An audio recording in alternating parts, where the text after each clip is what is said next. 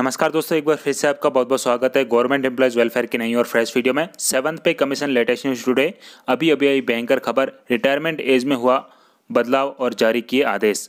जानिए कितनी बड़ी आपकी रिटायरमेंट एज पचपन, अट्ठावन या साठ वर्ष। तो चलिए फटाफट से जानते हैं इस वीडियो के माध्यम से कि आपकी रिटायरमेंट एज कितनी बड़ी है। तो पूरी और सही जानकारी के लिए वीडियो को शुरू से लेकर अंत तक पूरा देखें और वीडियो को ज़्यादा से ज़्यादा शेयर करें। और अगर आप हमारे चैनल पर पहली बार विज़िट कर रहे हैं तो नीचे जो लाल कलर का सब्सक्राइब बटन है, उसे दबाकर चैनल को सब्सक्राइब कर दें और साथ में जो बेल आइकन है, उसे भी दबा दें ताकि आने वाले हर वीडियो की अपडेट आपको हमेशा मिलती रहेगी। तो दोस्तों, यहाँ पे आप देख सकते हैं, अब साठ साल में रिटायर होंगे केंद्रीय अर्धसैनिक बलों के सभी कर्मचारी। ये लेटेस्ट न्यूज़ दैनिक जागरण की ओर से प्रकाशित की गई है।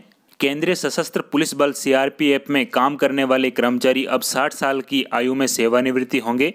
सोमवार को गृह मंत्रालय ने इस संबंध में निर्देश जारी किए हैं।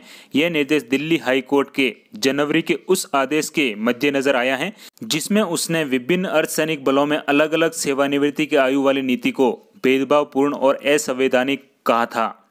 तो दोस्तों, अब सभी अर्धसैनिक बलों को अदालत के आदेश का पालन करने और नियमों के प्रावधानों में संशोधन करने का निर्देश दिया गया था। गृह मंत्रालय के आदेश में कहा गया है कि विभिन्न अर्धसैनिक बलों के बीच फैली विसंगति को सुधारा गया है और आदेश में कहा गया है कि सभी केंद्रीय रिज़र्व पुलिस बल सीआरपीएफ सीमा सुरक्षा बल, भारत तिब्बत सीमा सुरक्षा बल और सशस्त्र सीमा बल के कांस्टेबल से लेकर कमांडेड स्तर के अधिकारी तक के पद के कर्मचारियों की सेवानिवृत्ति आयु 60 के बजाय सत्तावन वर्ष थी, जबकि इन्हीं चार अर्धसैनिक बलों के डीआईजी से लेकर महानिदेशक डीजी तक अधिकारी की सेवानिवृत्ति आयु 60 वर्ष है। वहीं दो अन्य अर्धसैनिक बलों केंद्रीय औद्योगिक सुरक्षा बल और असम रायफल के सभी कर्मचारियों की सेवानिवृत्ति आयु 60 वर्ष है कुछ अधिकारियों ने गृह मंत्रालय के तहत आने वाले सभी अर्धसैनिक बलों के बीच फैली इस विसंगति को उठाते हुए कोर्ट का दरवाज़ा खटखटाया था।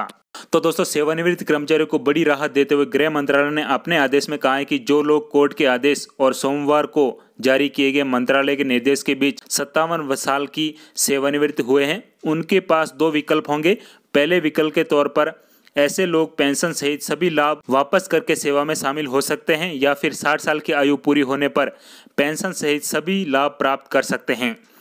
साथ ही ऐसे कर्मचारियों जो सेवानिवृत्त हो गए थे और इस मामले में कोर्ट का दरवाज़ा खटखटाया था, ऐसे कर्मचारियों को सेवानिवृत्ति नहीं माना जाएगा और वे 60 साल तक सेवा कर सकेंगे। तो दोस्तों, कोर्ट के फैसले के बाद गृह मंत्रालय ने इसके आदेश जारी कर दिए हैं। ये थी एक लेटेस्ट अपडेट। वीडियो को लाइक, शेयर और चैनल को सब्सक्राइब ज़रूर कीजिए। इसी के साथ जय हिंद, जय भारत।